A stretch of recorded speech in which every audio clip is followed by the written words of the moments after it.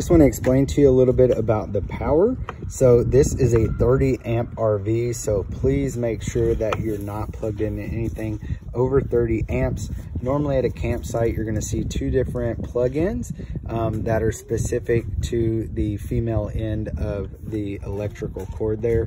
Um, anytime you're about to plug into the RV electrical area, make sure that the breaker on the 30 amp at the RV post is turned off plug in your RV, plug in the bottom of your RV cord into the RV power outlet, and then turn the amp on.